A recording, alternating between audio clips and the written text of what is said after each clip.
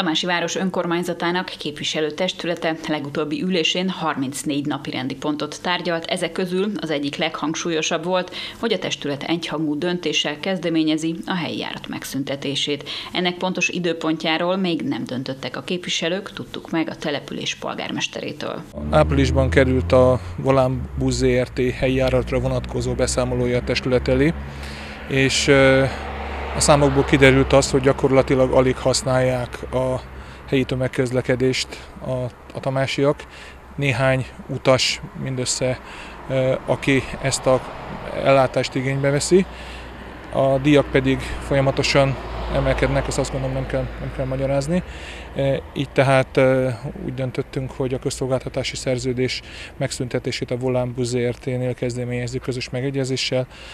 A Volánbusz ZRT erre partner volt, a testületi döntést követően kerül sor a, a, a részleteknek a megtárgyalására, és arra, hogy pontosan mikor szűnik meg ez az ellátás.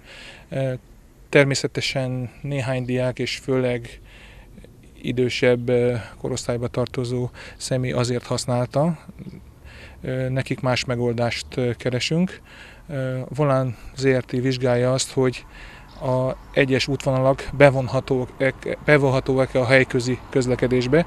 Elsősorban itt a Kimit tud lakótelep Árpád utca építőkutyáról van szó, tehát mi abban bízunk, hogy egy-egy helyközi árat gyakorlatilag bekanyarodik ezekbe az utcákba, ezekbe a városrészekbe, így ezeken a helyeken az ellátás ilyen módon nem sérül.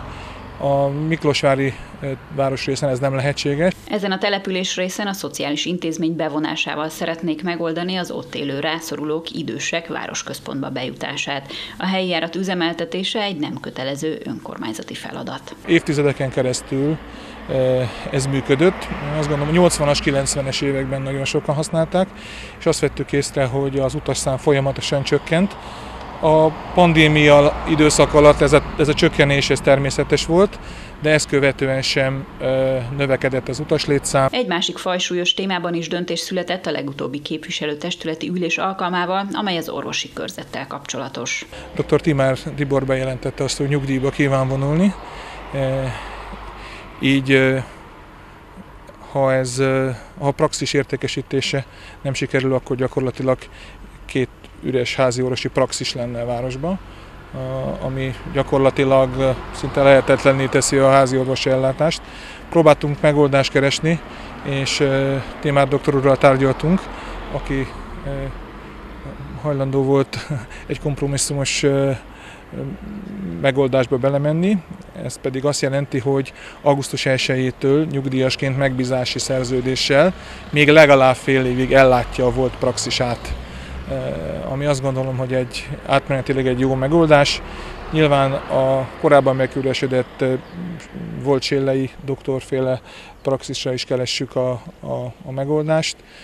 El kell mondanom, nem túl sok jelentkező van, folyamatosan hirdetjük eh, ezt a lehetőséget, de hát tudjuk azt, hogy milyen orvosi hiány van. Timár doktor úr heti három alkalommal fog rendelni, a szakaszisztense pedig minden héten rendelkezésre áll, ugye ahogy korábban is. Személyi változás lesz a város legkisebbjei által látogatott intézményben is. Nemrégiben pályázatot írt ki az önkormányzat az Aranyerdő óvoda és bölcsöde intézményvezetői munkakörének betöltéséről, mely sikertelenül zárult. A korábbi intézményvezető nem nyújtott be e, pályázatot, e, és más sem pályázott, tehát a, a érvénytelen és eredménytelenné nyilvánította a képviselőtestület a tendert, így megoldást kellett keresni, hogy kivezesse az Aranyerdő óvit, hisz ugye itt kilenc csoportról van szó, óvoda és bölcsöde, ráadásul ugye e, közösségezgatású intézményként kerül ellátásra.